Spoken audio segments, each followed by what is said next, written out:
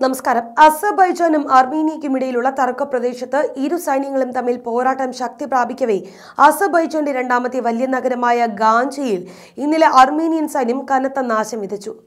നഗോനോ കരാബാഖ് മേഖലയുടെ അവകാശ തർക്കവുമായി ബന്ധപ്പെട്ട യുദ്ധം കഴിഞ്ഞയാഴ്ച ശക്തി പ്രാപിച്ചതോടുകൂടി ഈ മേഖലയുടെ തലസ്ഥാനവും അസർബൈജാന്റെ ഗാഞ്ചയും കനത്ത ബോംബ് വർഷത്തിന് സാക്ഷ്യം വഹിക്കുകയാണ്. നരോർണോ കരാബാഖ് മേഖലയിലെ പ്രധാന നഗരമായ സ്റ്റെപ്പാനാക്കെറ്റിൽ കഴിഞ്ഞ വെള്ളിയാഴ്ച മുതൽ കനത്ത ആക്രമണം നടക്കുകയാണ് എന്ന് ആർമീനിയ വ്യക്തമാക്കുന്നു. ഇന്നലെയും ഇവിടെ സ്ഫോടന പരമ്പരകൾ അരങ്ങേറി. നഗരത്തിന്റെ വിവിധ ഭാഗങ്ങളിൽ കറുത്ത പുകപടലം ഉയർന്നതായും കാണാമായിരുന്നു. അതേസമയം പടിഞ്ഞാറൻ അസബൈജാനിലെ പ്രധാന നഗരമായ ഗാഞ്ചയിൽ അർമീനിയൻ സൈന്യം കനത്ത ആക്രമണം നടത്തിയതായി അസബൈജാൻ പ്രതിരോധ മന്ത്രാലയം കുറ്റപ്പെടുത്തിയിട്ടുണ്ട്. മൂന്ന് ലക്ഷത്തിലധികം പേർ അധിവസിക്കുന്ന ഈ നഗരത്തിന് ആക്രമണത്തിൽ കനത്ത നാശനഷ്ടം ഉണ്ടായതായിട്ടാണ് റിപ്പോർട്ടുകൾ പറയുന്നത്. പതിറ്റാണ്ടുകൾ പഴക്കമുള്ള തർക്കത്തിന് പൊതുജീവൻ വച്ചതോടുകൂടി കഴിഞ്ഞ ഒരാഴ്ചയായി ഇരു രാജ്യങ്ങൾക്കും ഇടയിൽ കനത്ത പോരാട്ടമാണ് നടക്കുന്നത്. സിവിലിയൻ മേഖലകളിലാണ് ആക്രമണം അഴിച്ചുവിടുന്നത് എന്ന് ഇരു രാജ്യങ്ങളും പരസ്പരം കുറ്റപ്പെടുത്തുന്നുമുണ്ട്. കഴിഞ്ഞ ഒരാഴ്ചയ്ക്കുള്ളിൽ ഇരുന്നൂറ്റി ഇരുപത് പേരിലധികം പേർ വിവിധ ആക്രമണങ്ങളിലായി മരണമടഞ്ഞതായും പുറത്തുവരുന്ന വിവരങ്ങൾ സൂചിപ്പിക്കുന്നു. യുദ്ധം നിർത്താനും സമാധാനം പുലർത്താനുമുള്ള അന്താരാഷ്ട്ര സമൂഹത്തിനേറ്റ ആഹ്വാനങ്ങളെല്ലാം തള്ളിക്കളഞ്ഞുകൊണ്ട് ഇരു രാജ്യങ്ങളും കനത്ത പോരാട്ടം തുടരുന്നുമുണ്ട്. ഇരു വിഭാഗവും ഓരോ ദിവസവും വിജയം അവകാശപ്പെടുന്നു.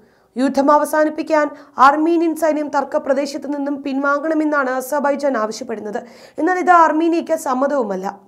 അസബൈജാൻ അവരുടെ അധികാര പ്രദേശമാണ് എന്ന് അവകാശപ്പെടുന്ന നാഗോനോ കരാബാഖ് മേഖലകൾ പക്ഷേ അർമീനിയൻ വംശജർക്കാണ് ഭൂരിപക്ഷമുള്ളത്. അതുകൊണ്ട് തന്നെ അവിടുത്തുകാർ അസബൈജാനിൽ നിന്ന് സ്വാതന്ത്ര്യം കാംക്ഷിക്കുന്നു. ഇതാണ് ഈ മേഖലയിലെ സംഘർഷങ്ങൾക്ക് കാരണവും. എന്നാൽ തങ്ങളുടെ അധീനതയിലുള്ള പ്രദേശം വിട്ടുകൊടുക്കാൻ അസബൈജാനും ഒരുക്കമല്ല.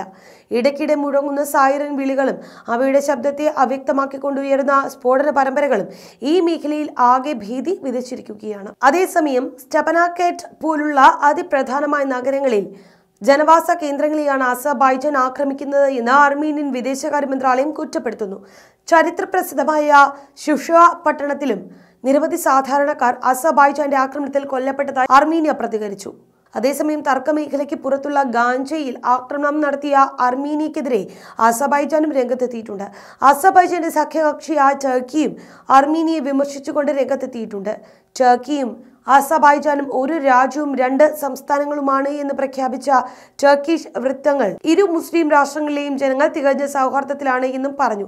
അതേസമയം അസബൈജാനിലെ കൂടുതൽ നഗരങ്ങൾ ലക്ഷ്യം വയ്ക്കുന്നുവെന്ന് കരാബാഖ് വിമത നേതാവ് അരായിക് ഹാറ്റ്ന്യൂനൻ മുന്നറിയിപ്പ് നൽകി.